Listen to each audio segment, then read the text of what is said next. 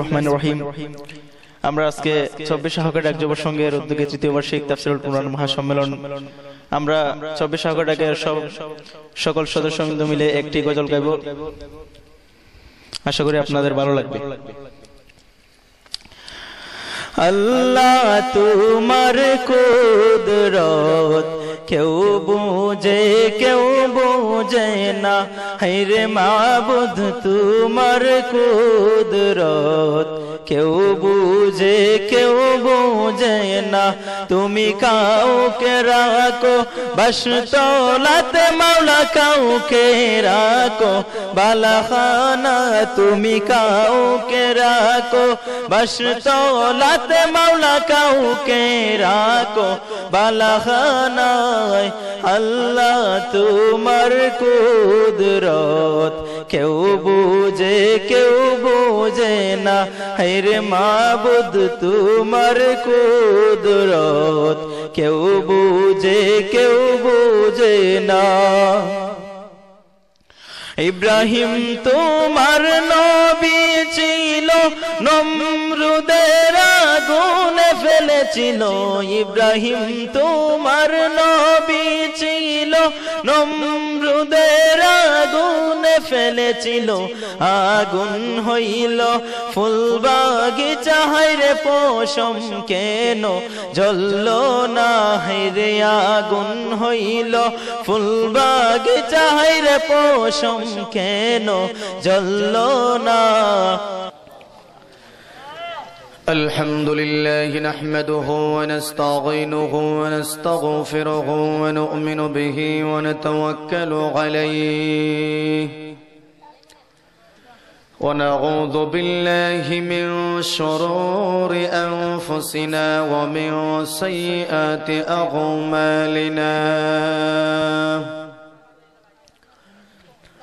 من يهده الله فلا مضل له ومن يضلل فلا هادي له.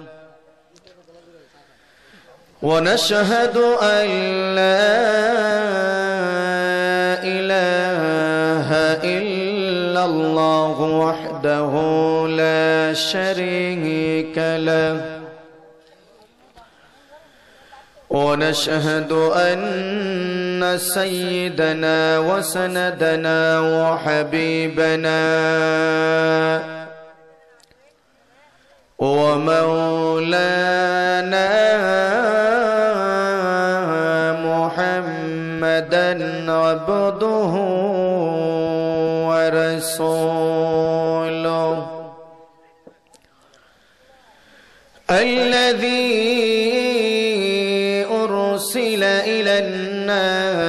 الناس كافة بشيرا ونذيرا.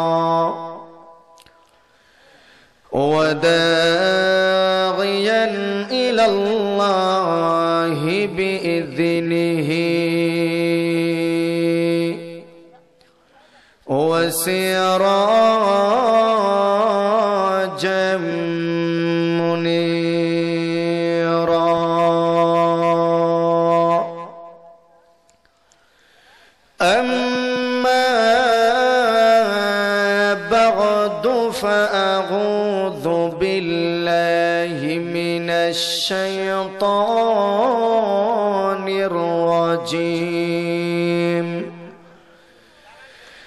بسم الله الرحمن الرحيم.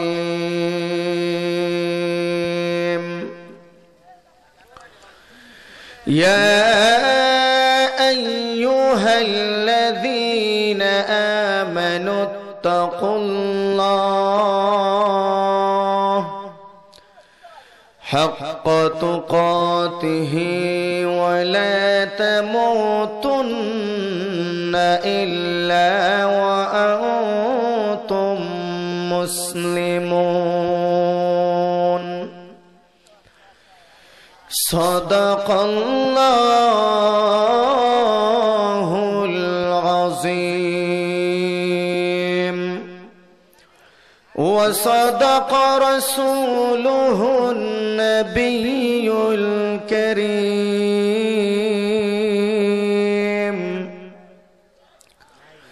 والحمد لله رب العالمين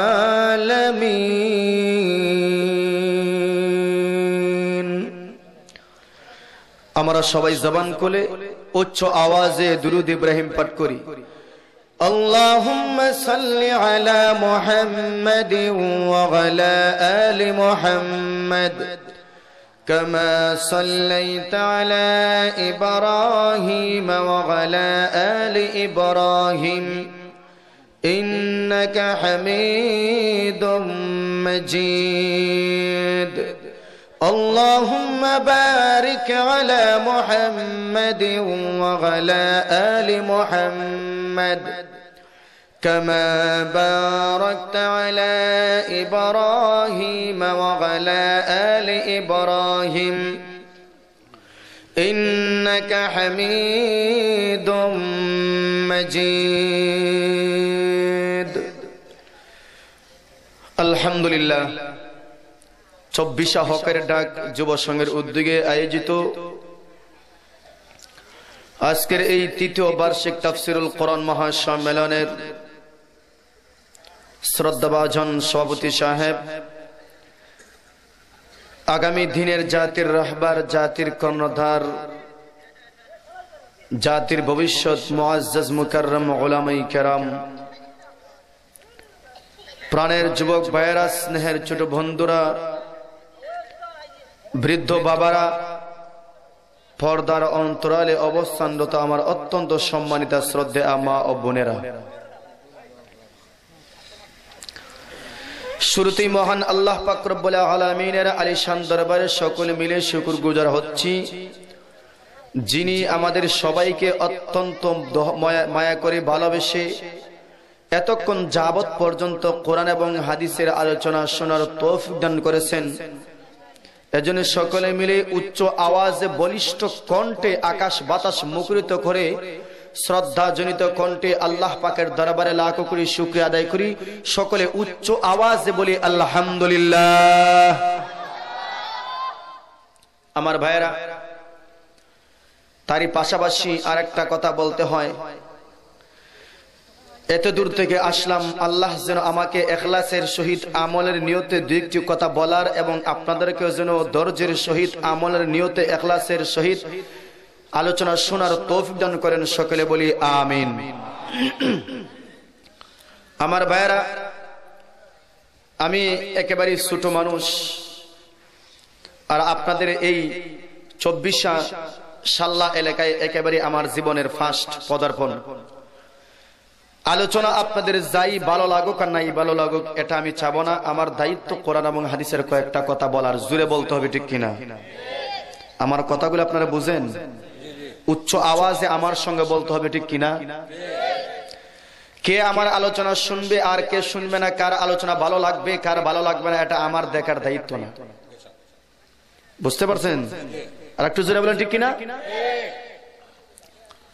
আমার একজন উলামাই কেরাম আমাদের আকাবির যারা ছিলেন, তারা বলতেন, আপনাদের তো চব্বিশা এলাকার মানুষ হাওড়ে বন্দরে বেশি কাজ করেন।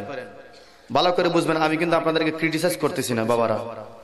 আপনারা হাওড় বন্দরে কাজ করেন না? শীতের মৌসুমে যখন ঠান্ডা বেশি লাগে, তখন চেষ্টা করেন যে একটু আগুন ধরাই। আগুন ধরায় যাতে শরীরটাকে একটু মানে সতেজ করি। করেন কি করেন না? আর একটু জোরে বলেন না কেন? এখন আপনারা এই শরীর থেকে ঠান্ডা দূর করার জন্য যে আগুনটা ধরাইলেন, ধরানোর পর কি বাসায় বসে থাকবেন যে আগুন সেখানে জ্বলুক আর সেখান থেকে আমি আগুনের তাপ সংগ্রহ করব? আসবে নাকি? এই কাজ যে করবে সে কি জ্ঞানওয়ালা মানুষ না বিবেকহীন? আর একটু জুড়ে বলেন। তাফসির এবং মাহফিলের আলোচনা দিবেন।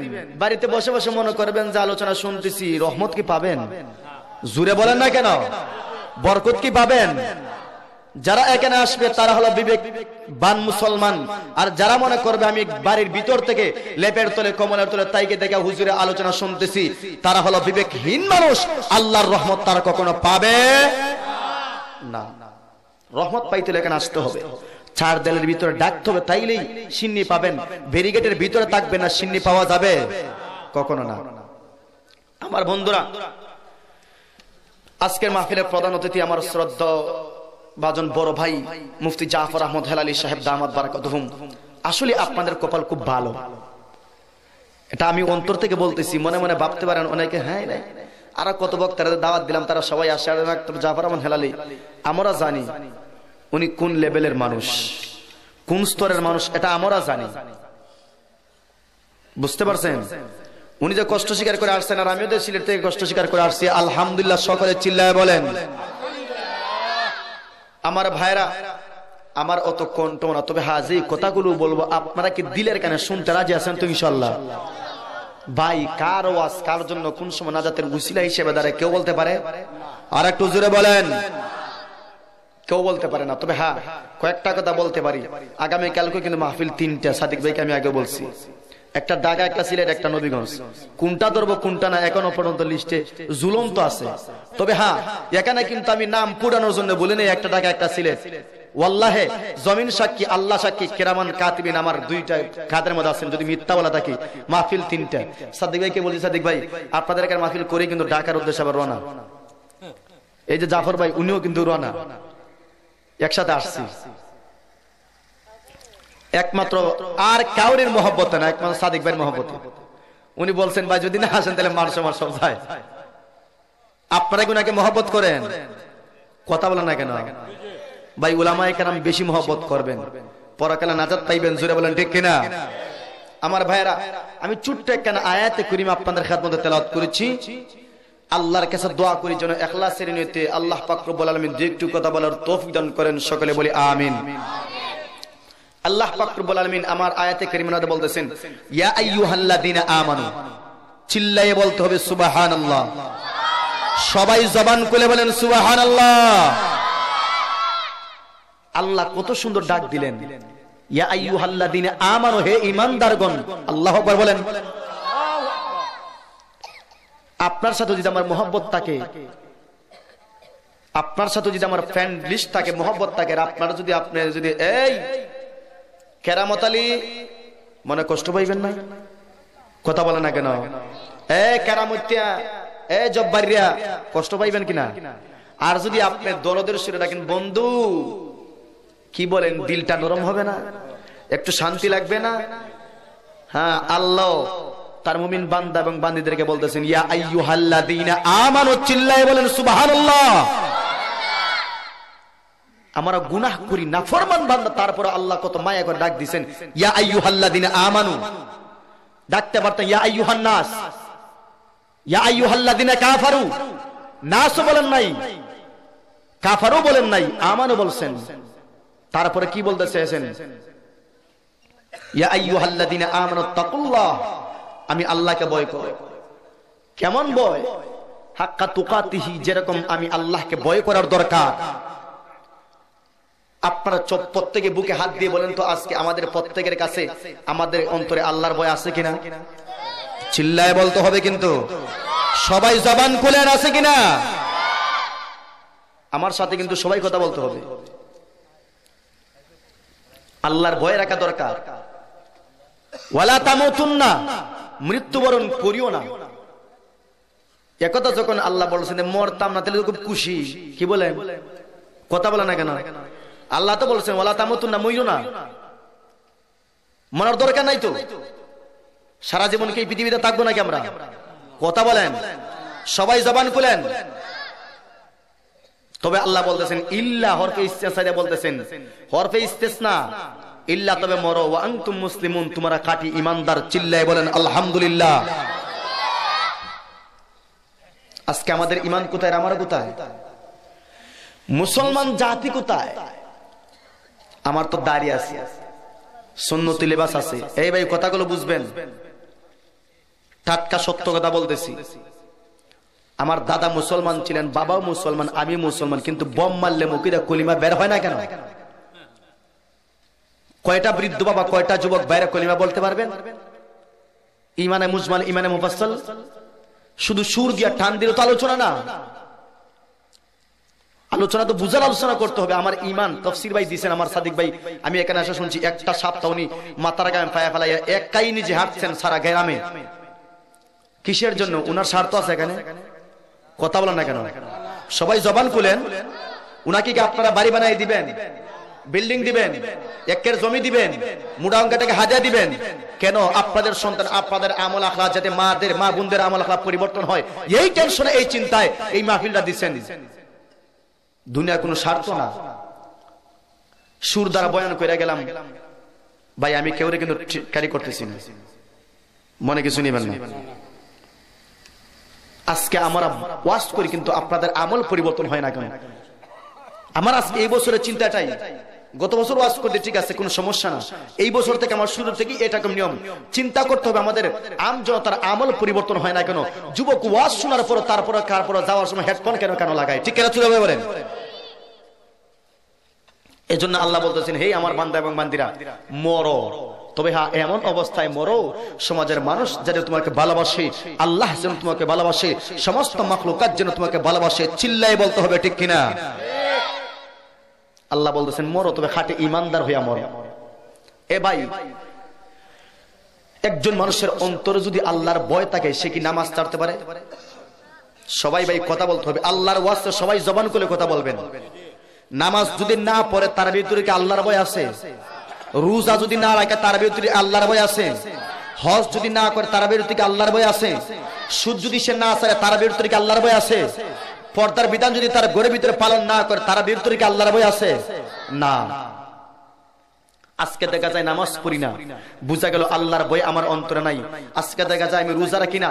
বুঝা গেল আল্লাহর বই আমার অন্তরে নাই। আজকে দেখা গেল আমি কোটি টাকার মালিক, তারপরও আমি হজ করি না। বুঝা গেল আমার অন্তরে আল্লাহর ভয় নাই। কেন? তাইলে কি আল্লাহ যে বলতেছেন, হাক্কা তুকাতিহি ইত্তাকুল্লাহ। আমি আল্লাহকে ভয় করো, হাক্কা তুকা থেকে ভয় করার মতো এই গুণটা কি আমার অন্তরে আছে? চিল্লাই বলে না কেন? না। আমার বায়েরা এজন্যেই আমার আল্লাহ বলেন, ইয়া আইয়ুহাল্লাযীনা আমানুত্তাকুল্লাহ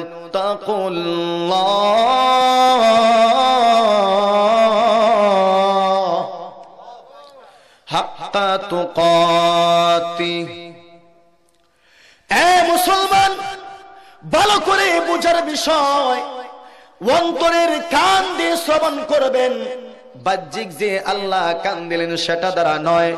এ ভাই অন্তরের কানটা একটু দরজারা খুলিয়া দেন, ভিতরে আলোচনাটা একবার ঢুকাইয়া দেন। আমার বাইরা আল্লাহ বললেন, হে বান্দা, আমি আল্লাহর ভয় তোমার অন্তরে ঢুকাও। আমি আল্লাহর ভয় তোমার অন্তরে ঢুকাইলে কখনো একজন বান্দা বান্দি নামাজ ছাড়তে পারে না। জুড়ে বলেন, ঠিক কিনা? এ মুসলমান ভালো করে বুঝার দরকার। তোমার ভিতরে যদি আল্লাহর ভয় থেকে যায়, কখনো বান্দা এবং বান্নি নামাজ ছাড়তে পারে না, জোরে কণ্ঠে কিনা?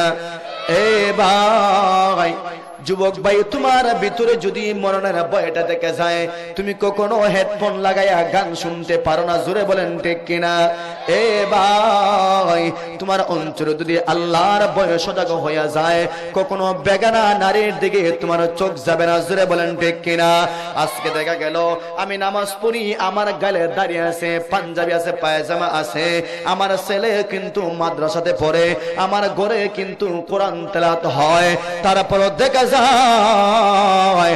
আমার ঘর থেকে টিভি সরাইতে পারে না, ঠিক না টিভি তো সরাইতে পারতেছে না। কেন? আমল কি কাজে লাগতেছে? হ্যাঁ? একদিক দিয়া আমল করতেছেন, অন্য দিক দিয়া এই যে আগুনের চুলা বসাইছেন, সেটা জ্বলাইতেছে, জ্বালাইতেছে।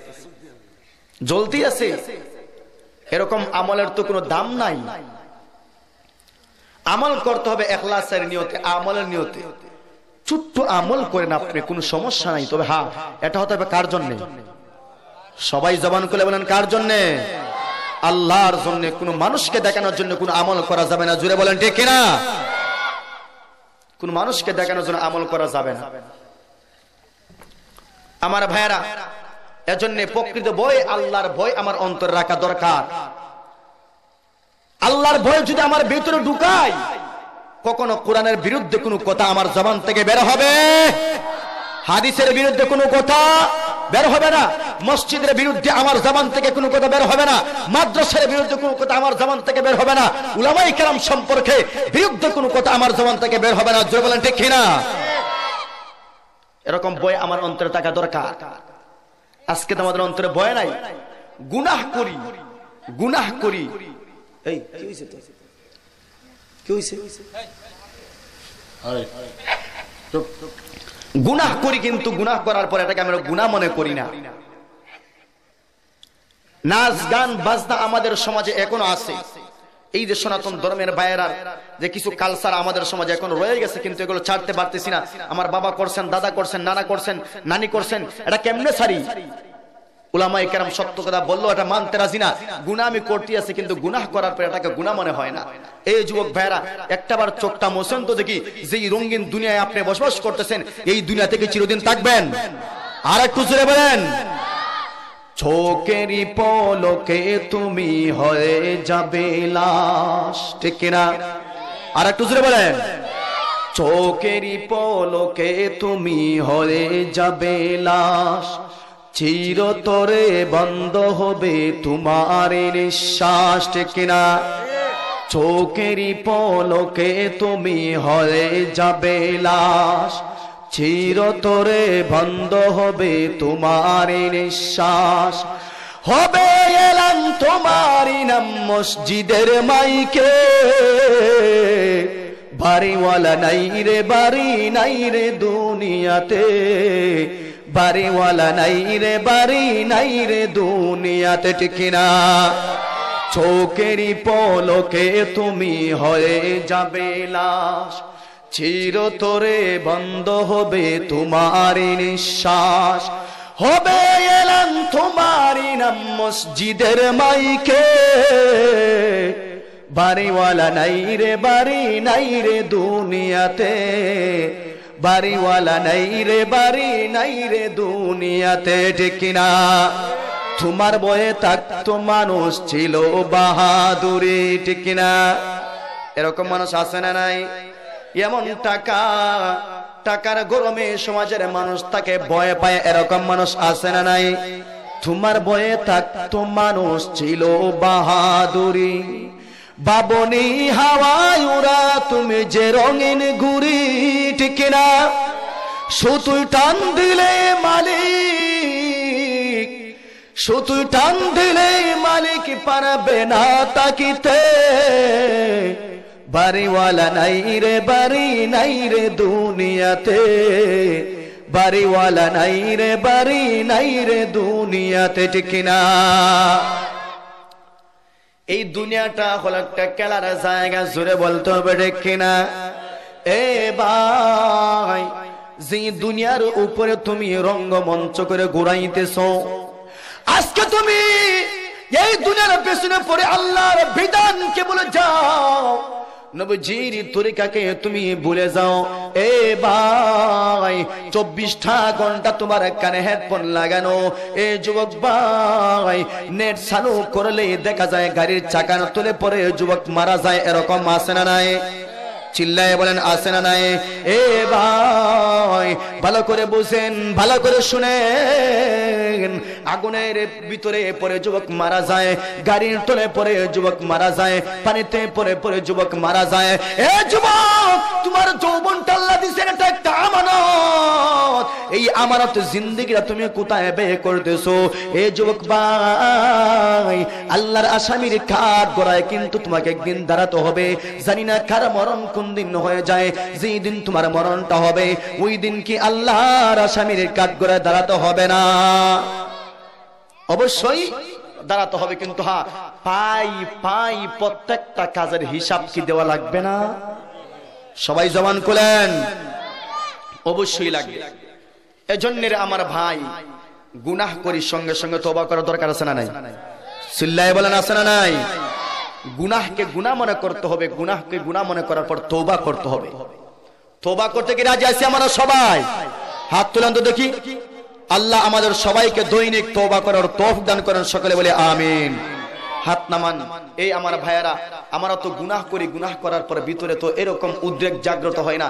নবীজির একজন সাহাবী, উনার নাম আমার স্মরণ নাই। উনি একটা গুনাহ করছেন রে আমার ভাই, কিন্তু গুনাহ করার পর উনার ভিতরে কেমন বয় ঢুকছে।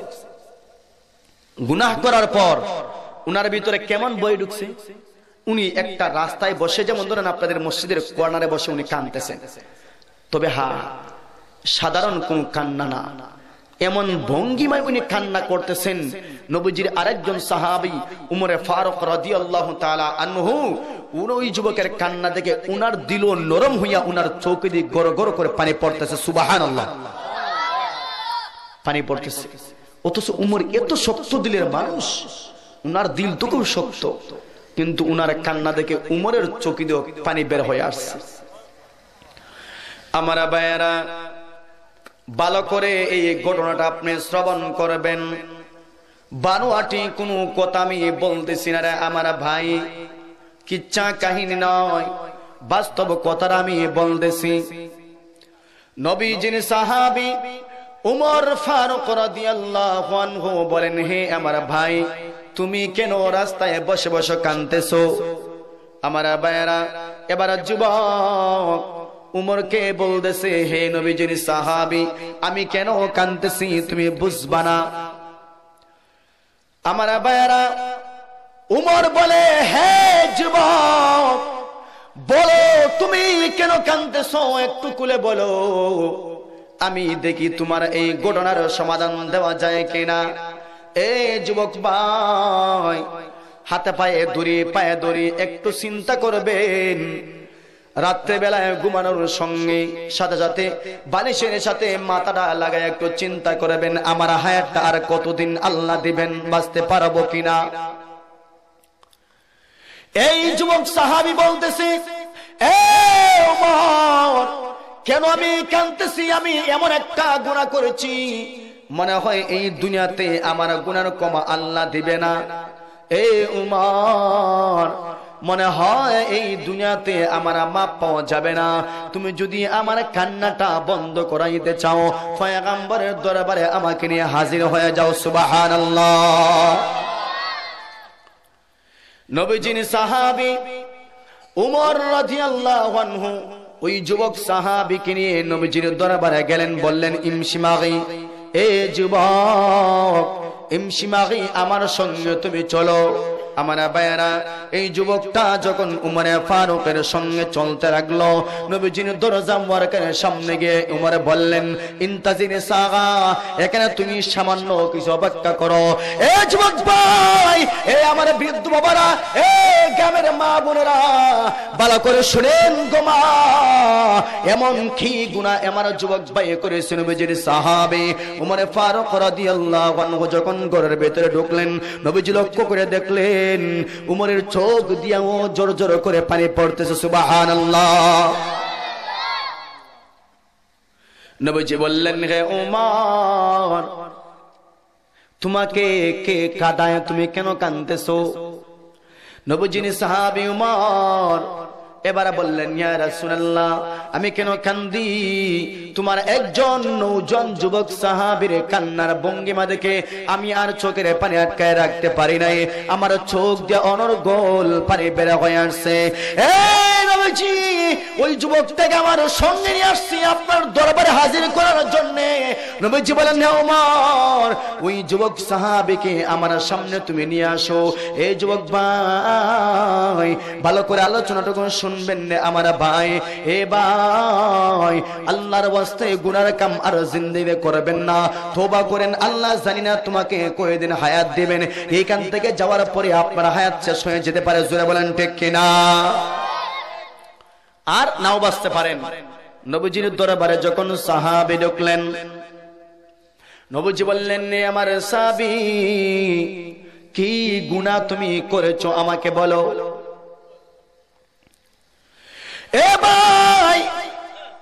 এবার যুবক যখন তার গুনার বর্ণনা দিবে মনে হয় সারা জমিনের ভিতরে কম্পন শুরু হয়ে গেছে। তার ভিতরে কম্পন তৈরি হয়ে গেছে। কেমনে গুণাটা বর্ণনা করবে? এবার এবার যুবক বলতেছে আমি কেমনে তোমার কাছে গুণার বর্ণনা দেব?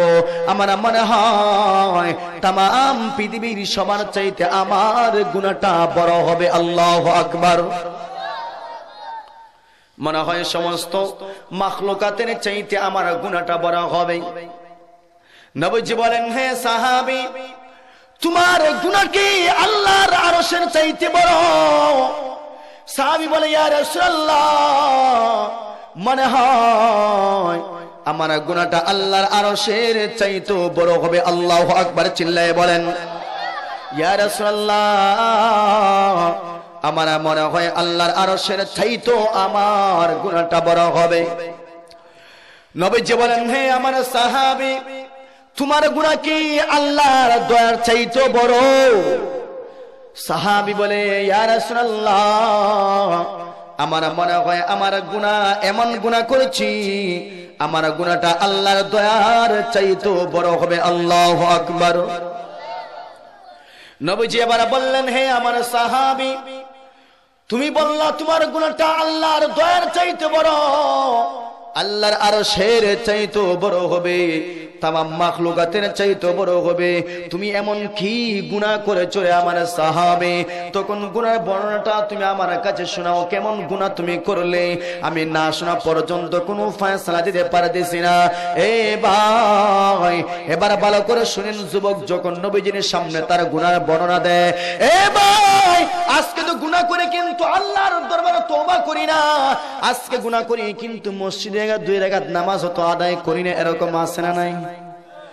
এত আসতে বললেন, আছে না নাই? যুবক, এবার নবীজিনের দরবারে গুনার বর্ণনা দিবে, ইয়া রাসূলুল্লাহ আমি হলাম গরিব ফ্যামিলির একজন সন্তান। আমার একজন বউ আছে, আমার দুইটা সন্তান। আমাদের ফ্যামিলিতে মোট চারজন সদস্য। আমার স্বামী, স্ত্রী সহ ফ্যামিলিতে মোট চারজন সদস্য আছে। উপার্জনের কোনো ব্যবস্থা নাই। আমি একটা পদ্ধতি অবলম্বন করলাম। যে পদ্ধতি অবলম্বন করার কারণে আমার সংসারটা চলে। নবীজি বললেন সাবি, এমন কোন পদ্ধতি তুমি অবলম্বন করেছ। ইয়া রাসূলুল্লাহ এইটা হলো সেই পদ্ধতি। রাত্রেবেলায় আমি গুরুস্থান করণ করে, নতুন কবরের গুরুস্থান করণ করে আমি নতুন আমি কবর থেকে তুলি। যে লোকটা নতুন মারা যায়, তার কবরটাকে আমি রাত্রেবেলায় করে, তার শরীর থেকে আমি কাপড়ের কাপড়গুলো চুরি করে আনি। রাত্রে বেলায় বাজারে আমি খরিদ করে, আমি বাজারে খরিদ করে টাকা সংগ্রহ করি। ওই টাকা দিয়ে আমার সংসারটা আমি চালাই। ইয়া রাসূলুল্লাহ, কিন্তু এমন একটা দিন আমার কেন আসলো মদিনার ভিতরে একজন সুন্দরী মেয়ে মারা গেছে। এটা নাকি মদিনার ভিতরে সবচেয়ে সুন্দরী মেয়ে। বেলায় আমি দেখে আসলাম মেয়েটাকে কোথায় দাফন করা হয়। যেখানে ওই মেয়েটাকে দাফন করা হলো। রাত্রে বেলায় তার আত্মীয় স্বজনের চোখকে আমি পাকি দিয়া ওই গুরুস্থানে আমি হাজির হয়ে গেলাম। মাটি আস্তে আস্তে করে আমি মাটিটা সরাইলাম। ইয়া মাটি যখন সরাইলাম একটা থেকে দুইটা যখন আমি সরাইলাম। আমার যুবক ভাই যখন যুবকটা এরকম গুণা বনা দিতেছে, যখন বলতেছে, দুইটা বাস আমি সরাইলাম। এমনিতেই যুবকটা আবার বুক জোড়া কান্না পড়েছে। নবীজির দরবারে আর সে গুনার বর্ণনা দিতে পারতেছে না। কেমনে সে গুনার বর্ণনা দিবে? মনে হয় এই মুহূর্তে আল্লাহর আজাবটাকে গ্রেফতার করে বসবে। আল্লাহ আকবার। মনে হয় এই মুহূর্তে আল্লাহর আজাব তার উপরে চেপে বসবে। এমন গুণা করছে। নবজি বললেন আমার সাহাবি কান্না বন্ধ করো। কি গুনাহ তুমি করেছ আমার কাছে বর্ণনা দাও। এবার সাহাবি বলতেছে, ইয়া রাসূলুল্লাহ, এমন গুনাহ করেছ গো নবীজি, আমার বয়ান করতে ভয় হইতেছে। ইয়া রাসূলুল্লাহ, নবীজি, যখন আমি কাফনের কাপড়টা অর্থাৎ কাটিয়া সরাইলাম বাস আমি সরাইলাম ওই মেয়ের উপর থেকে যখন অন্ধকার অবস্থায় মেয়েকে পাঁচ কাপড় দেওয়া হয়, পুরুষকে তিন কাপড় দেওয়া হয়, জোরে বলেন ঠিক কিনা? এ ভাই, ওই নবীজিনী সাহাবি গুনার বর্ণনা দিতেছে, যখন আমি পাঁচটা কাপড়ের টুকরা আমি আমার হাতে নিলাম, যখন আমি চল চলতেছিলাম, ওই মুহূর্তেই শয়তান আমার গাড়ের মধ্যে চেপে বসছে। শয়তান আমাকে কুমন্ত্রণা দিয়েছে এ যুবক, শুধু কি তুমি পাঁচখানা কাপড়ের টুকরা নিয়ে তুমি সন্তুষ্ট হয়ে গেলা? কবরে একটা বার তুমি টস মেরে দেখলা না? কবরে কাকে দাফন করা হয়েছে? এ যুবক, তুমি একটা বার তুমি কবরে টস মেরে দেখো। কেমন সুন্দরী, বিশ্ব সুন্দরীকে কবরে রাখা হয়েছে। এই মুহূর্তে যদি তোমার মনের খায়াস তুমি মিটাইতে চাও, কেউ তোমাকে বাধা দিতে পারবে না। মেয়ে তোমাকে আটকাতে পারবে না। এই সমাজের কেউ তোমাকে চোখ দেনা দেখবে না। তোমার তোমার খায়াস তুমি এই মুহূর্তে মিটাইতে পারবে। ইয়া রাসূলুল্লাহ, শয়তান আমাকে এমন ভাবে চেপে বসছে শেষ পর্যন্ত শয়তানের সঙ্গে আমি আর যুদ্ধ করে পারলাম না। যখন আমি কবরে, যখন আমি হালকা এরকম টস দিলাম, আল্লাহ আকবার, এমন সুন্দরী মেয়ে আমার জিন্দিগিতে কোনোদিন আমি দেখি না এমন সুন্দরী মেয়ে দেখি নাই কিন্তু শয়তানের সাথে আমি আর পারতেছি না। আমি কবরে নেমে গেলাম। নেমে যাওয়ার পর ইয়া রাসূলুল্লাহ আমি আমার মনের তৃপ্তির খায়েশ যখন আমি মেটাইলাম কবর থেকে যখন আমি উঠে গেলাম বগলের তলে করে যখন কাপড়ের পাঁচখানা কাপড় আমি নিয়ে যখন সামনের দিকে আগাইলাম ইয়া রাসূলুল্লাহ ওগো নবীজি আমার জবান থেকে আর কথা বের হয় না। আমি কেমনে এবার গুনার বর্ণনা দেব? ইয়া রাসূলুল্লাহ তখন আমার কানের মধ্যে একটা আওয়াজ আসছিল।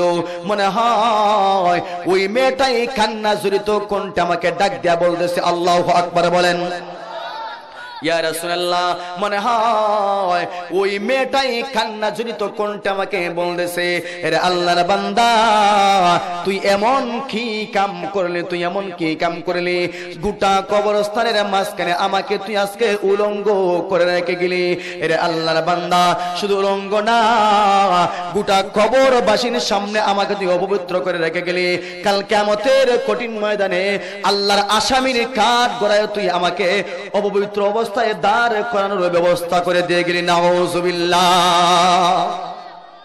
তুই এমন কি কাম করলি? আমাকে তুই গোটা কবরবাসীর সামনে উলঙ্গ করে রেখে গেলি আর আমাকে তুই অপবিত্র বানায় গেলি।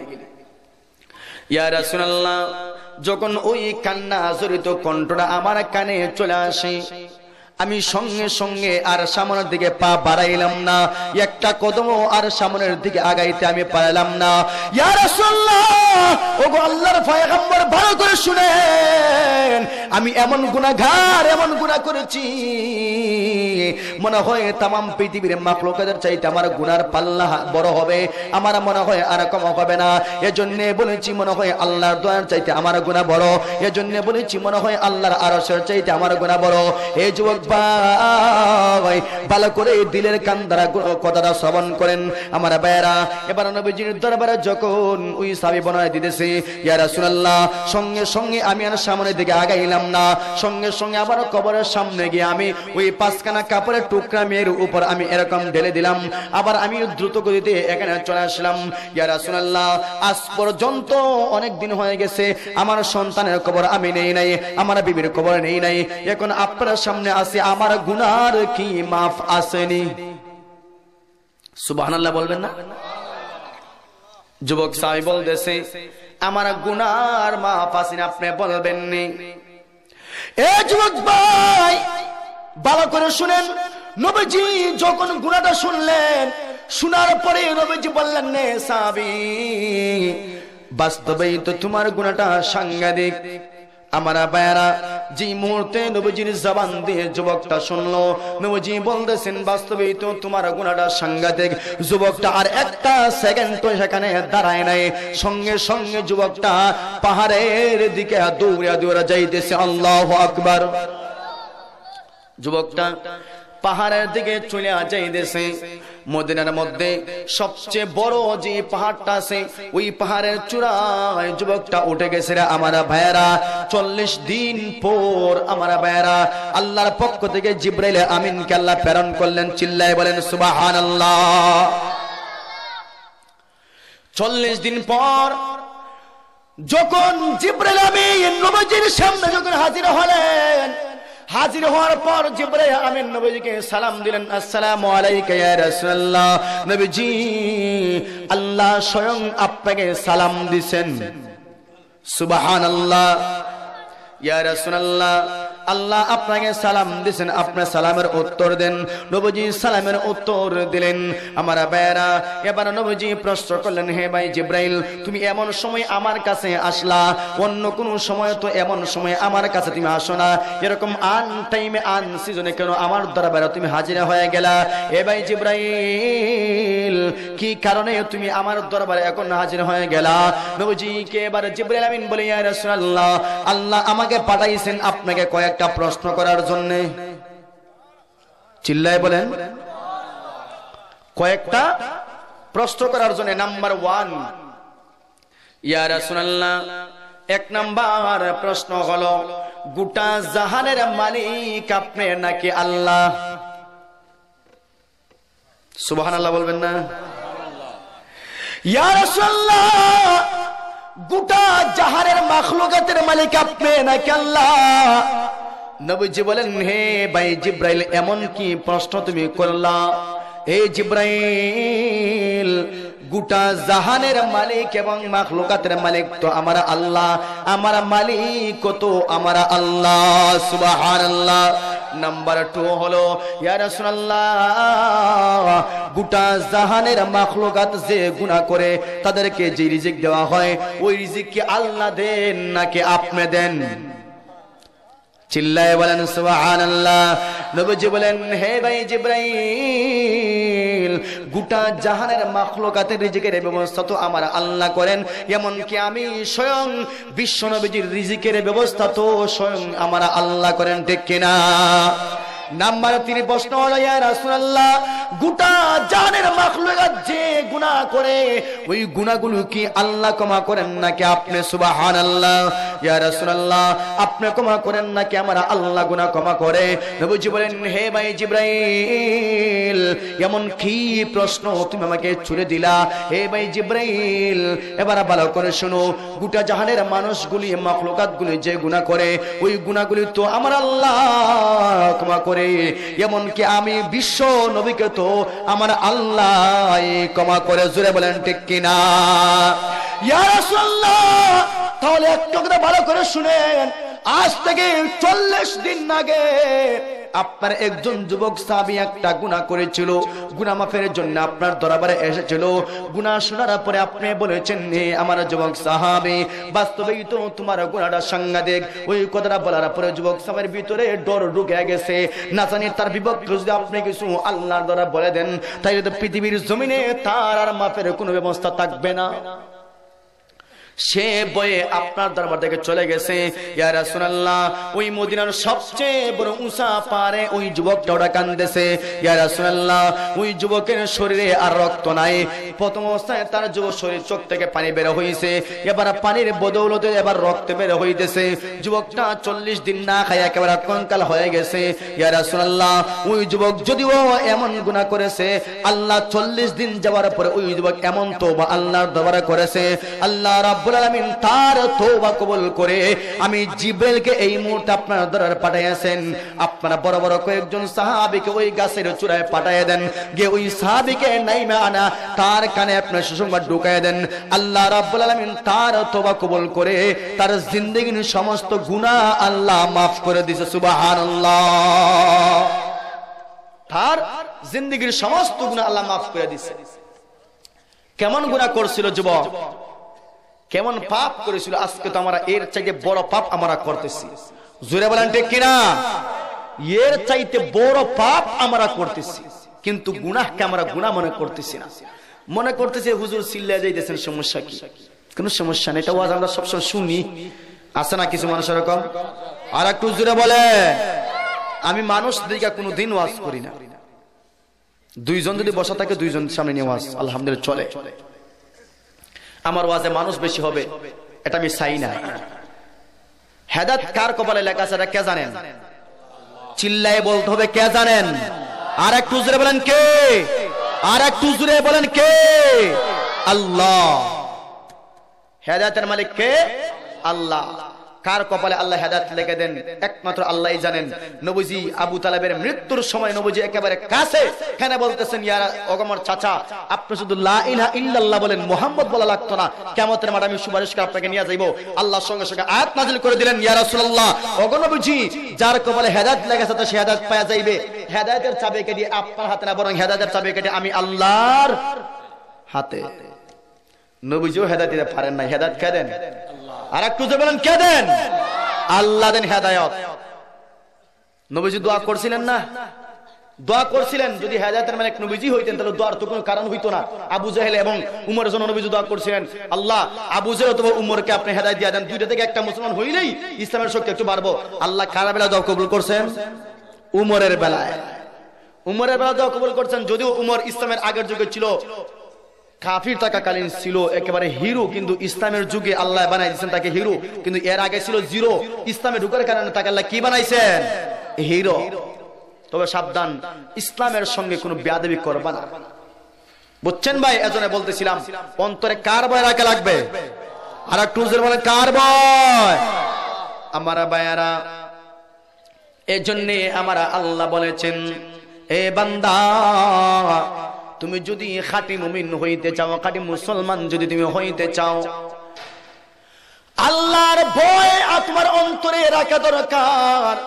আল্লাহর ভয় যদি তোমার অন্তরে না রাখো, দুনিয়ার পুলিশের বয়ে আজকে দেখা যায় আমাদের অন্তরে আছে আছে না নাই? এ ভাই, বউ তালাক দেওয়ার পরে ভিতরে যে একটা অশান্তি জাগ্রত হয়। দেখা যায়, তখন খানি নাই গুম নাই, শুধু টেনশন আর টেনশন ইমাম সাহেব, হুজুর কিতা করতাম এখন বউ তো গেছে কি আছে না নাই? আপনার এরকম করে না করে না? বউ তালাক দেওয়ার পর যে ফেরেশানি, আল্লাহ আকবার। সোলা নাই, গাং নাই, নৌকা নাই, সব শেষ। হুজুরের পাশাপাশি খালি গুরন্তি গুরন্তি এখন দেখা যায় হুজুরের দাম কি যা তার আর বউ তালাক দেওয়ার আগে কিতা হুজুরিতা মানি নিতে? আমরা ফকট আছে। আছে না নাই? জুরা কথা বলে না কেন? কিন্তু বউ তালাক দিলে কি ফেরেশানি আরম্ভ হয়? যে বয় না জানে কেস করিলায় করিলাই তেরো শিখের ভিতরে ঢুকি যেতে তেরোশিকের ভিতরে ঢুকার বয়ে যে টেনশন আর আহকামুল হাকিমিন আল্লাহর বই আমাদের অন্তর যদি জাগ্রত হতো, আমার ভাইরা এর জন্য আমার একজন হুজুরে বলতেন, যেন মুফতি আবুল কালাম জাকারিয়া সাহেব দামাত বারাকাত উনি বলতেন, মানুষ বউ তালাক দেওয়ার পরে যে বয় যে ডোর তার ভিতরে ঢুকে, এরকম বই দিয়ে আল্লাহর একটা বিধান ছাড়ার পরে যদি তার ভিতরে এরকম বই ঢুকতো, মানুষ এমনিতেই আল্লাহর ওলি হয়ে যাইতো জুড়ে বলেন ঠিক কিনা? এমনিতেই আল্লাহর ওলি হয়ে যাইতো। আজকে দেখায় দেখায় সমাজে সুদ খাই ঘুষের টাকা দেখায় দেখায় নেই। সুদের টাকা দেখায় দেখায় আমরা দিনের আলোতে নেই। এই ভাই মরা লাগবে, কে লাগবে না চিল্লায় বলেন। সবাই কথা বলে না কেন? মরা লাগবে তুমি মরার পরে বুঝবেন। সুদের একটা গুণা হলো একটা গুণার কথা বলি, তোমার মার সঙ্গে জিনা করা। সুদ খাইলে একটা পাপ। বুঝেন? এর জন্য আল্লাহ বলতেছেন পরিপূর্ণ মুসলমান হইয়া আমি আল্লাহর দরবারে আসো। এর আগে আমি আল্লাহর দরবারে পরিপূর্ণ মুসলমান হওয়ার আগে আইসো না যদি পরিপূর্ণ মুসলমান না হইয়া কবরে যাও, আছে কি না বাদাম? খেসিন জবর? খেস, জরাবাইয়া দ্রিবুর। মসদত তখন ফেরেস্তারা গড় যাইব। জরাবাই আজির মসদত তখন ফেরেস্তারা গড় যাইব, সমস্যা না জরাবা এজরিবু দেখবেন তখন কবর জগতে কি হয়? এর জন্য বলতেছিলাম আমার ভাইরা কবর জগতে যাব তবে খাঁটি ইমানদার হয়ে জোর বলেন ঠিক কিনা? খাঁটি মুসলমান হয়ে কবর জগতে যাওয়া লাগবে। আমাদের চেয়ারম্যান সামনে? আলহামদুলিল্লাহ সবাই বলেন আলহামদুলিল্লাহ চিল্লাই বলেন। আলহামদুলিল্লাহ বলতো রাজি না। চিল্লাই বলেন না কেন? আপনাদের মাত্র চেয়ারম্যান সাহেব আজকে হাসির কষ্ট করে আসছেন। আপনাদের তো কপাল ভালো। এবছর মনে হয় উপজেলা প্রার্থীও উনি আলহামদুলিল্লাহ। আল্লাহর কাছে দোয়া করি, আল্লাহ যেন ওনাকে এই এলাকার একজন প্রার্থী হিসেবে আল্লাহ কবুল করেন। সকালে বলে আমিন। আমার ভাইরা বলতেছিলাম, অন্তর ওনার জন্য দোয়া করবেন, আমরা দোয়া করে দেয় যাতে ওনার মাধ্যমে জনগণের সেবা হয়। জুড়ে বলেন ঠিক কিনা? আর একটু জোরে বলেন ঠিক কিনা? আমার ভাইরা, এই জন্য আল্লাহ বলতেছেন, ওয়ালা তামুতুন্না ইল্লা ওয়া আনতুম। মুসলিমুন পরিপূর্ণ ঈমানদার হয়ে মৃত্যুবরণ করো, পরিপূর্ণ মুসলমান হয়ে তোমরা মৃত্যুবরণ করো। একটা দৃষ্টান্ত দেই আমার বয়ান ইনশাআল্লাহ শেষ হয়ে যাবে। কেমনে আমরা পরিপূর্ণ মুসলমান হব? কেমনে আমরা পাক্কা ঈমানদার হব? আমার ভাইরা হাসান বসরির নাম শুনছেন কিনা? সকলে বলেন না কেন? আর একটু জোরে বলেন। হাসান বসির রহমতুল্লাহ আলাই আল্লাহর একজন জবরদস্ত একজন ওলি ছিলেন। নামাজ না পড়লে ইমানদার হওয়া যায় না। হজ না করলে পরিপূর্ণ ইমানদার হওয়া যায় না। জাকাত না দিলে পরিপূর্ণ ইমানদার হওয়া যায় না। রোজা না রাখলে পরিপূর্ণ ইমানদার হওয়া যায় না। চেয়ারম্যান সাহেব এখানে আছেন, আমার থেকে অনেক বেশি বুঝেন। জনগণের হক আদায় না করলেও পরিপূর্ণ ইমানদার হওয়া যায় না। আমার ভাইয়ারা, হাসানা বসির রহমতুল্লাহ দরবারে একজন সাগরেদ ছিলেন ওনার নাম ছিল আবুল হাসান। নাম কি? আবুল হাসান, উনি দশ বছর খেদমত করছেন, ভালো করে বুঝবেন। বুজার স্বার্থে বলতেছি, গলা ফাটা এত কোনো লাভ নাই, যদি আমলে না আসে। দশ বছর খেদমত করার পর হে আবুল হাসান, এদিকে আসো। তোমাকে বিবাহ করাইতে চাই। তোমাকে কি করাইতে চাই? তোমাকে বিবাহ করাইতে চাই। তখন আবুল হাসান বললেন, হুজুর, বউকে দিব মানে? আমারা দেখতে তো মানুষ পছন্দই করে না, বউকে দিব। টাকা নাই, পয়সা নাই, তোমার দরবারে পড়ে রয়েছে কে দিব বউ? তখন আবুল হাসান হাসান বসি বললেন, বউ আমি ঠিক করে রাখছি, তুমি বাজারে যাও, গিয়া তুমি খেজুর আনো। সুবাহান আল্লাহ বলেন। আর একটু জোরে বলেন সুবাহান আল্লাহ বিয়া করা কি ভাই? বিবাহ করা কি? আর একটু জোরে বলেন, ফরজ হ্যাঁ তবে স্থান ক্ষেত্রে ফরজ? কোন সময় আছে বিয়া করা সুন্নত? কোন সময় আছে বিয়া করা ফরজ? কোন সময় আছে বিয়া করা ওয়াজিব? আছে না নাই? মিশকাত শরীফের এই বাবন নিকাহের মধ্যে আছে, মুফাসসিরিন এখানে উল্লেখ করছেন। হাদিসের ব্যাখ্যায়, কোন কোন সময় বিয়া করা সুন্নত, কোন কোন সময় বিয়া করা ফরজ, কোন কোন সময় বিয়া করা ওয়াজিব। আমার ভাইরা উনি বাজারে গেছেন, তবে হ্যাঁ যাওয়ার সময় বইরা দিছেন, মুসলমানের ঘর থেকে কিন্তু খরিদ করবেন খেজুর। কথাগুলো ভালো করে বুঝবেন, কার ঘর থেকে? আর একটু জোরে বলেন। বলছেন, মুসলমান দেইকা খেজুর খরিদ করবেন, মানুষ দেইকা খেজুর করবেন। যাওয়ার সময় উনি হাসান বসির রহমতুল্লাহ উনার যে মাথার পাগড়ি ছিল, পাগড়ি আবুল হাসান রহমতুল্লাহ মাথায় উনি পরাই দিছেন। যে পাগড়ি পাগড়ি পরাই দিছেন। উনি বাজারের দিকে রোয়ানা হায় আল্লাহ। উনি বাজার যাইতেছেন, এখন দেখা যায় একটাও মানুষ দেখা যায় না, সব গরু, ছাগল। আল্লাহ বলেন একটা মানুষ দেখা যায় না। কাউকে দেখা যায় সাপ কাউকে দেখা যায় কুকুর কাউকে দেখা যায় শ্রীগাল কাউকে দেখা যায় শোর কাউকে দেখা যায় শুকুর কাউকে দেখা যায় গরু কাউকে দেখা যায় হিংস্র সিংহের মতো। এই তোদের কি হইছে? there. এরকম আকৃতির দেখা যায়। উনি বলতেছেন, হুজুর বললেন মানুষ দেখে খেজুর খরিদ করতাম। এখন তো দেখা যায় একটার মানুষ দেখা যায় না, সব গরু ছাগলের মতো দেখা যাইতেছে। দোকানে বসা সাপ, দোকানে বসা শুকুর, দোকানে বসা কুকুর, দোকানে বসা হিংস্র জানোয়ার, সাপ, এরকম বসা। মানুষ দেখাই যায় না, উনি টেনশনে পড়ে গেছে। আমার ভাইয়ারা, এবার আবুল হাসান যখন আস্তে আস্তে বাজারের গলির দিকে যাইতে লাগলেন, এ ভাই এবার ভালো করে ঘটনাটা ভালো করে বুঝেন। হুজুর বলে দিছেন, মানুষের গোর দেখে তুমি খেজুর করে করবা। এই হাসান, মানুষ না দেখা কিন্তু তুমি খেজুর করে করবা না। আবুল হাসান রাস্তায় যাইতেছেন, কিন্তু দোকানে তো মানুষ দেখা যায় না। কোন দোকানে দেখা যায় সাপ বসা, কোন দোকানে দেখা যায় কুকুর বসা। কোন দোকানে দেখা যায় হিংস্র জানোয়ার বসা, শুকুর বসা সোয়ার বসা। এ ভাই, উনি তো টেনশনে পড়ে গেলেন, চিন্তায় পড়ে গেলেন। এবারে মানুষ কোথায় আমি তালাশ করে পাই? মানুষ তো দেখা যায় না। আমার মুসলমান ভাইয়েরা, একটা কথা আপনারা বলেন মুসারা কি? মুসারা কি? কেসি দিয়া মুসারা কাটো করে রাখা কি নবীজির একটা সাইসালাও না কেসি দিয়া কাটা। নবীজির কি সুন্নত? আমার বায়ারা আবুল হাসান আর একটু সামনে যখন আগাইলেন, তখন দেখলেন একজন মানুষের, মানুষকে দেখা যায়, উনি একটা সেলুনের মধ্যে বসে, উনি নিজের মুখ মুসাটাই করতেছেন সুবাহান আল্লাহ চিল্লায় বলেন মুসলমান ভাই উনি যখন লক্ষ্য করে দেখলেন একজন আল্লাহর বান্দা নবজিনে একটা সুন্নত উনি পালন করতেছেন। মুস হয়ে গেছে। উনি আবার কেসি দ্বারা উনারা মুসটাকে খাটো করতেছেন, ছাড়তেছেন। তো বেলেট দ্বারা একেবারে কাটতেছেন না।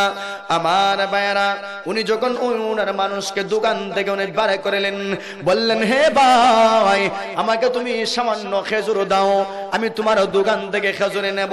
আমার বায়রা উনি বললেন, আমি এখন কাজ করতেছি। কাজে রেখে আমি খেজুর বিক্রি করতে পারব না। আমার সামনে তো আরও অনেক দোকান আছে। ওই দোকানগুলো থেকে তুমি খেজুর করে করে নিয়ে আসো। আমার ভাইয়েরা, আবুল হাসান বলতেছে হে ভাই, দোকানে তো আমি মানুষ তালাশ করে পাই না। আল্লাহ আকবার বলেন, এ ভাই, একটা দোকানে তো আমি মানুষ তালাশ করে পাইলাম না। কোন দোকানে দেখা গেল সাপ বসা দেখা যায়, কোন দোকানে কুকুর বসা দেখা যায়, কোন দোকানে সিংহ বসা, কোন দোকানে শোয়ার বসা, কোন দোকানে হিংস্র জানোয়ার বসা, একটা মানুষও আমি আবুল হাসানের নজরে বাসে না। আমি কেমনে খেজুর করে করব? একমাত্র তুমি কে দেখলাম, তুমি দোকানের মধ্যে বসা, তুমি একজন মানুষ। কাজেই তোমার দোকান থেকে আমি খেজুর করে করে নিতে চাই, অন্য দোকান থেকে আমি খেজুর করে করব না। এবার ভালো করে শুনবেন। তোমাদের টার্গেট করে কিন্তু কথাটা বলতেছি। এখনও সময় আছে কয়েকদিন বাঁচবা তুমি বলতে পারো না। আমলটাকে পরিবর্তন করো। ব্যক্তি জীবন পরিবর্তন করার দরকার আছে না নাই সিল্লে বলেন। এ ভাই, আমার ব্যক্তি জীবন পরিবর্তন করার দরকার আছে পারিবারিক জীবন পরিবর্তন করার দরকার আছে, রাষ্ট্রীয় জীবন পরিবর্তন করার দরকার আছে, সামাজিক জীবন পরিবর্তন করার দরকার আছে যদি বলেন ঠিক কিনা? এ ভাই, আমার ব্যক্তি করে আল্লাহ এবং আল্লাহ রসুলের বিধান ফিট করার দরকার আছে না নাই? আর একটু যে বলেন নাই? এ ভাই, আমার পারিবারিক জীবনে নবজির তরিকা ঢুকানো দরকার, রাষ্ট্রীয় জীবনে নবজির সুন্নত ঢুকানো দরকার, সামাজিক জীবনে আল্লাহ এবং আল্লাহ রসুলের বিধান কায়েম করা দরকার, আমরা ব্যক্তি জীবনে সাড়ে মাঠে, মাথার মধ্যে একেবারে বডির ভিতরে আল্লাহ এবং আল্লাহ রসুলের বিধান ঢুকানো দরকার আছে না নাই? অবশ্যই আছে। আমার ভাইয়েরা, আবুল হাসান রাহমাতুল্লাহ আলাইহি যখন খেজুর করে করে উনি যখন হাসান বসরি দরবারে গেলেন, গিয়ে বললেন, হুজুর, আমাকে তো বাজারে আপনি পাঠাইছেন, কিন্তু দোকানে তো হাঁটলাম। একটা দোকানেও আমি মানুষ দেখলাম না, সবকে দেখছি কুকুর, বিড়াল, ছাগল, কুত্তা, বিলাই। হুজুর, বুঝলাম না, এর কারণ কি? এবার আবুল হাসানকে বললেন এ হাসান, তুমি যেই দোকানে তুমি দেখছ কুকুর বসা, ওই দোকানের মালিকের মধ্যে কুকুরের স্বভাব আছে জুড়ে বলেন, নাউজুবিল্লাহ। এ আবুল হাসান, যেই দোকানে দেখছ তুমি কুকুর বসা, ওই দোকানের মালিকের ভিতরে কুকুরের স্বভাব আছে। মানুষকে বেউ বেউ করে শুধু কামড়াইবে। দোকানে দেখেছ সাপ বসা, ওই দোকানের মানুষের কাছে সাপের খাসলত আছে। দোকানের মধ্যে দেখেছ শুকুর বসা, ওই দোকানের মালিকের ভিতরে শুকুরের স্বভাব দেখা যায়। যেই দোকানের মধ্যে দেখেছ কুকুর বসা, ওই দোকানের মালিকের মধ্যে কুকুরের স্বভাব আছে। যেই দোকানের মালিকের ভিতরে দেখেছ সিংহের বা সুরত দেখা যায়, ওই দোকানের মালিকের বিদের সিংহের অভাব বসা। হে আবুল হাসান, এই দৃষ্টান্ত কেন তুমি দেখলা? আর জায়গায় তুমি মানুষ দেখলা, তার ভিতরে কিন্তু বাস্তবে সে মুসলমান সুবাহান কেন? এই কুদরতি চক্ষু কে করে দিছে? এই আবুল হাসান, বুঝো নাই? আমি হাসান বসির পাগড়ি যখন তোমার মাথা দিয়েছিলাম, আল্লাহ তোমাকে আইনে বসিরত যেটাকে বলা হয় কুদরতি চক্ষু, আল্লাহ তোমাকে খুলে দিয়েছিলেন সুবাহান আল্লাহ এজন্য তুমি মানুষের গুণাগুলিকে তুমি দেখতে পারছ। খে খাটি মুসলমান খে খাটি আল্লাহ আর খে শয়তানের দালাল জয় বলেন, ঠিক না এজন্য রে ভাই, হাসান বসরি বলেছিলেন খাঁটি মুসলমান দেইকে তুমি খেজুর করে কইরো। উনি দেখছেন, একজন মানুষকে দেখা যায়, যিনি নবীজির সুন্নতকে সারাই করতেছেন, নবীজির সুন্নত পালন করতেছেন। উনি দেখলেন না, উনি খাঁটি মুসলমান। কাজেই এই দৃষ্টান্ত থেকে বোঝা গেল, যে ব্যক্তির কাছে নবীজির সুন্নত পাওয়া যাবে, সেই খাঁটি মুসলমান জুড়ে বলেন, ঠিক কিনা? আর যার কাছে নবীজির সুন্নত নাই, ব্যক্তিগত জীবনে নবীজির সুন্নত নাই, পারিবারিক জীবনে নবীজির সুন্নত নাই, সামাজিক জীবনে নবীজির সুন্নত নাই, আন্তর্জাতিক জীবনে নবজির সুন্নত নাই রাষ্ট্রীয় নবীজির সুন্নত নাই, তারা কখনো খাঁটি মুসলমান হতে পারে? না। খাঁটি মুসলমান হইতে গেলেই নবীজির সুন্নত আমার ভিতরে ঢুকানোর দরকার আছে না নাই? এখন দেখোছেন ভাই, কার গালে কতটুকু দাড়ি গেছে? কি বলেন? দাড়ি রাখা সুন্নত। জোরে কথা বলেন? দাড়ি রাখা নবীজির একটা সুন্নত। এ ভাই, ভালো করে বোঝেন, আজকে যারা দাড়ি ছাড়তেছেন, একটা দৃষ্টান্ত দিয়ে শুনবেন তো ইনশাল্লাহ। আল্লাহর একজন ওলি আল্লাহ মহিউদ্দিন খান দামাত বারাকাত হুম স্বপ্ন যুগের রাসূল একটা কিতাব লেখছেন ওই মধ্যে উনি উল্লেখ করছেন, আল্লাহর একজন ওলি নবীজিকে স্বপ্নে দেখছেন। সুবহানাল্লাহ বলেন, চিল্লায় বলেন, স্বপ্নে দেখছেন। উনি দেখেন নবীজি কানতেছেন আর নবীজির বুক মুবারক দিয়ে রক্ত পড়তেছে। আল্লাহ আকবার বলেন, ভাই, নবীজি কানতেছেন আর বুক দিয়ে রক্ত পড়তেছে। আল্লাহর ওলি জিজ্ঞেস করলেন, ইয়া রাসূলুল্লাহ, আপনি তো নিষ্পাপ, বেগুনা, মাসুম। আপনার বুক থেকে রক্ত পড়তেছে কেন? আপনার কানতেছেন কেন? নবীজি বলেন, ও আমার উম্মত, কেন কানতেছি বুঝো না। আজকে দুনিয়াতে আমার গুনাহগার উম্মত, তারা দাঁড়ে তারা দাড়ি না রেখে, তারা দাড়ির ভিতরে কুর লাগায়, বাস্তবে তারা তারা দাড়ির ভিতরে কুর লাগায় না। আমি নবীজির কলি যায় তারা আঘাত করে জুড়ে বলেন, নাউজুবিল্লাহ। এজন্য তুমি দেখছ, যারা আমি নবজির কলিজা আঘাত লাগায়, আঘাত লাগানোর পর তো পানি বার হইতো না রক্ত ছাড়া। কি বলেন? পানি বাহির হইব নাকি রক্ত বাহির হইব? এজন্য তুমি তাম পৃথিবীর মুসলমানকে এই জিনিসটা আপনি শেয়ার করে দিবেন শেয়ার করে দিবেন। তারা যাতে আর দাড়ি কখনো না কাটে। এ ভাই, বলতে পারি না কোন ওয়াজ কার জন্য নাজাতের উসিলা হবে আর কোন সময় কে হেদায়ত পেয়ে যায়। ভাই, এক শুধু বলতে চাই, শেষ সময় বলতে চাই, চোখটা মুসন তো দেখো, এই মাওত দেখা যায় কিনা, আমাকে দেখা যায় কিনা, সব কিছু অন্ধকার। এ ভাই, এই অন্ধকার কবরে কিন্তু তুমিও যাইতে হবে, আমিও যাইতে হবে। এত দূর থেকে আসলাম, আল্লাহর কাছে দোয়া করি, আল্লাহ যেন আমাদের সবার জীবনের আমলকে পরিবর্তন করে দেন, সকালে বলি, আমিন। আমার ভাইয়েরা, ব্যক্তিগত জীবনে নবজির শূন্য চালু করেন, দেখবেন আরাম পাবেন। ভাই, ইসলাম এমন একটা ধর্ম, একেবারে সহজ। কি বলেন, সহজ না? সবাই কথা বলেন? ইসলাম ধর্মের মতো সহজ ধর্ম পৃথিবীতে আর একটাও নাই। ইসলাম হলো চিরদিনের শান্তি, সুখের নিশানা। ঠিক কিনা? আর বলেন। ইসলাম হলো চিরদিনের শান্তি, সুখের নিশানা। ইসলাম ছাড়া অন্য সবই জাহান নামের ঠিকানা। ইসলাম ছাড়া অন্য সবই জাহান নামের ঠিকানা ঠিকানা কেউ বা করে রাজতন্ত্র, কেউ বা আবার গণতন্ত্র কেউ বা আবার রাজতন্ত্র, কেউ বা আবার গণতন্ত্র, সবকিছু দান্দামি আর পেট পূজারি বাহানা, ঠিক কিনা? ইসলাম ছাড়া অন্য সবই জাহান নামের ঠিকানা। ইসলাম ছাড়া অন্য সবই জাহান নামের ঠিকানা, ঠিক কিনা? কাজেই আল্লাহ বলেছেন ইসলাম। পৃথিবীতে যত ধর্ম আছে, একমাত্র খাঁটি ধর্ম আমি আল্লাহর কাছে কোন ধর্মের নাম, বলে বলেন। ইসলাম। ইসলাম ছাড়া আর পছন্দনীয় ধর্ম আল্লাহর কাছে নাই। কাজে ইসলাম যেরকম আল্লাহর কাছে পছন্দনীয়, ইসলামের প্রত্যেকটা বিধানও আল্লাহর কাছে পছন্দনীয় জুড়ে বলেন ঠিক কিনা? কাজে আমার ব্যক্তিগত জীবনে, পারিবারিক জীবনে রাষ্ট্র জীবনে, আন্তর্জাতিক জীবনে, সামাজিক জীবনে আল্লাহ এবং আল্লাহ রসুলের বিধান করার দরকার আছে না নাই? ওয়াদা করতে পারবেন? পারবেন ওয়াদা করতে? আর জিন্দিগিতে দাড়ি কামাইতাম না। পারবেন? ভাই, কই সিলেট থেকে আইছি? আর যে রাস্তা, আলহামদুলিল্লাহ। আলহামদুলিল্লাহ। এই মারকুলি বাজার, পাহাড়পুর বাজারের দিকে গাড়ি ঢুকাইছি। এখন এমন জাম লাগিয়া বইছে। এখন গাড়ির সামনের দিকেও যায় না, পিছনের দিকেও যায় না। মানুষ চতুর্দিকে একেবারে, জানেন, বলার শাক চিনেন, বলার শাক একেবারে জোরুয়া বইছে। অনেক সময় লাগছে গাড়িটা একেবারে পিছাইয়া পিছাইয়া সামনের দিকে আনতে পারি আর মোটর সাইকেল তো একবারে পাহাড় পরে এই সেই বুদারা পার হয়ে বন্ধু, আসলাম। আলহামদুলিল্লাহ। কষ্ট হয়েছে না? কি বলেন? কষ্ট হয়েছে না নাকি? এখন এতদূর থেকে আসলাম, আসার পরে কোরআন এবং সুন্নার বয়ান করলাম। একটু কষ্ট করার পর বয়ান করলাম, হাতে পায়ে ধরে। নিজের আমলটা তো পরিবর্তন করার দরকার ভাই। কি বলেন? আমি ছোট মানুষ, কিন্তু কথা কইছি কার? আর একটু জোরে বলেন। কার কথা বললাম? আল্লাহর কথা বললাম। পকেট থেকে তো কুল্লা কুল্লা কথা বলি নাই। পকেট থেকে রিসিট বার করে কি কথা বলছি? দেখা দেখা, না না, কোরআন এবং সুন্নার আলোচনাই করলাম। তবে হ্যাঁ বাহিরে কোনো আলোচনা করি নাই। করছি কি বাহিরে আলোচনা? আমি চেষ্টা করি বিষয়ের উপর টাকার আলোচনা করার। ভ্যারাইটিস আলোচনা আমি করি না। ভ্যারাইটিস আলোচনা আমার পছন্দ না। বিষয়ের উপর যতটুকু আলোচনা করি, এক ঘণ্টা বা দেড় ঘণ্টা, আল্লাহ যতটুকু আমার ভিতরে দিছেন, চেষ্টা করি ভাই। একজন তো সব ইলিম একজনের ভিতরে রাখা তো জরুরি না। আর সবাই জানেও না সব ইলিম। তো ভাই, শেষ শেষ একটা কথা আপনাদেরকে বলতে চাই। আমার সঙ্গে আপনার ওয়াদা করতে পারবেন যে, হুজুর, আর জিন্দিগিতে যতদিন বাঁচবো, আমি লন্ডনে যাই, আমেরিকা যাই, ইংল্যান্ড যাই, চীন যাই, জাপানে যাই যেটাই সেটাই যাই, আল্লাহর একটা ফরজ বিনা নামাজ ছাড়তে রাজি না। ওয়াদা করতে পারবেন?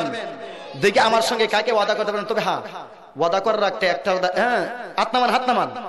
ওয়াদা করার আগে একটা কথা কিন্তু ভালো করে শ্রবণ করতে হবে। আমাদের চক্ষু আছে না নাই? কান আছে না নাই? আল্লাহর চক্ষু আছে না নাই? আল্লাহকে দেখেন কিনা? অবশ্যই দেখেন। তবে হ্যাঁ ওয়াদা করতে হবে একেবারে দিল দিয়ে আল্লাহ, জিন্দগির মতো ওয়াদা করতেছি, আর নামাজ ছাড়ব না। ভাই, নামাজ তো পড়া লাগবেই। নামাজ ছাড়া কি মুক্তি আছে? তাহলে ওয়াদা করেন তো আর জিন্দিগিতে নামাজ ছাড়তাম না, কে কে ওয়াদা করতেন ইনশাল্লাহ? অনেক ভাই হাত তুলেন আরে আল্লাহ আল্লাহ। হাত তুলেন, সবাই তুলেন। আল্লাহর একটা ফরজ বিধান, এই নামাজ কেন ছাড়বো? হাত নামান। আল্লাহর একটা ফরজ বিধান, নামাজ ছাড়া কোন মুসলমানের কাম না ভাই। নামাজ পড়া লাগবে। সৌদি আরব দেখেন, সৌদি আরব আমি তো যাই নাই। নামাজ যদি না পড়ে, কীরকম শাস্তি দেয়? হিন্দু অনেক সময় শুনছি, আমার তো একজন বিদেশ আছে, যে হুজুর, রাস্তা আজানোর সময় যদি কোনো হিন্দু যদি বাহিরে থাকে, সে বাথরুমে লুকাইকে বসতে হয়। বাস্তব করে আমার উপর করে ভাই, ইঞ্জিনিয়ার। বুঝছেন? এই হবিগঞ্জের। উনি সৌদি আরব প্রায় দীর্ঘ পনেরো বছর থাকছেন। বলছেন, আমি একদিনে বাস্তব ঘটনা একজন হিন্দু। হিন্দু একজন। আজান দিয়ে দিছে। রাস্তায় তারা পুলিশ যারা আছে পায়ালাইছে এই নামাজ পড়ে না কি বলব? তেজের সাথে দৌড়ে কাঁপতেছে সে নামাজ পড়া লাগছে, হিন্দু। স্বাধীনতার সময় অনেক হিন্দু টুপি মাথায় দিছে কিনা? কথা বলে না কেন? জুড়ে বলে না কেন? অনেক হিন্দুরা জান বাঁচানোর জন্য কলিমা পড়ছে। যারা পাকিস্তানি হায় না যারা আমাদের মা বোনের ইজ্জত লন্ডন করেছিল এই রাজাকারের বাচ্চারা, তারা জিজ্ঞাসা করতেছে, তুই কি মুসলমান? হ্যাঁ বলতেছে ইলাহা ইল্লাল্লাহ হিন্দু জান তো বাঁচাই দিব। মাথা টুপি দিছে। এজন্য মুসলমান ভাই, নামাজ ছাড়া মুক্তি নাই। নামাজ অবশ্যই পড়তে হবে। নিয়ে আসেন। পাঁচ মিনিট আছে। নিয়ে আসেন। আমাদের চেয়ারম্যান সাহেব মনে হয় কিছু কথা আলোচনা করবেন। যে ভাই, আমি যতটুকু আলোচনা করলাম, আলহামদুলিল্লাহ, আমি ছোট মানুষ, তবে হ্যাঁ কোরআন কথা বলতেছি। যতটুকু আলোচনা করলাম, আল্লাহ আমাদের সবাইকে এই আলোচনার উপর আমল করার তৌফিক দান করেন। সকলে বলেন, আমিন।